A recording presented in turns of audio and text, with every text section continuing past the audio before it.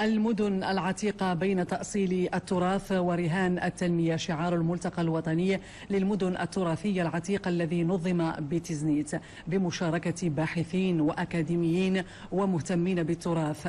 التفاصيل مع العبد النيلي ومبارك زماني. ممثل أزيد من أربعين جماعة ترابية وباحثون ومهتمون بالتراث العمراني يشاركون في هذا الملتقى الذي يهدف إلى تبادل الخبرات والتجارب وإثراء المعارف بالإفادة العلمية والعملية حول الاهتمام بالمدن العتيقة وما يلحقها من أضرار سواء من طرف العوامل الطبيعية أو البشرية.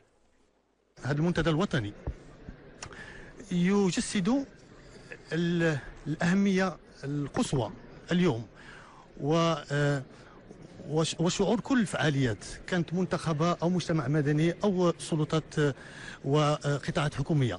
بضرورة الاهتمام أكثر بالمدن العتيقة. وحنا تنتمناو أنها تخرج بواحد العدد ديال الخلاصات اللي تمكن لجميع المدن المشاركة.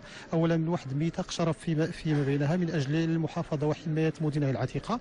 ثانيا من أجل إدماج هذه المدن العتيقة في الدورة الاقتصادية لها من أجل خلق الثروة والشغل والتنمية الاقتصادية والتنمية الاجتماعيه المدن التراثية العتيقة حاضنة للثقافة اللامادية وفضاء التعايش المشترك.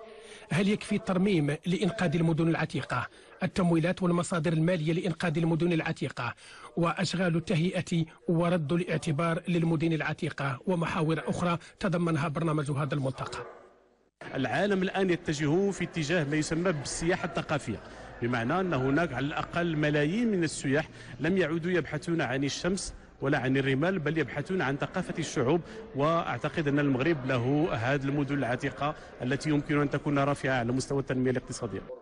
الاهتمام بالمدن العتيقة كتراث إنساني من شأنه أن يغني الأبحاث الثقافية والمجالات الاقتصادية وخصوصا في شقها المتعلق بالمجال السياحي الذي تراهن عليه العديد من الدول لتنمية مواردها وإمكانياتها المادية.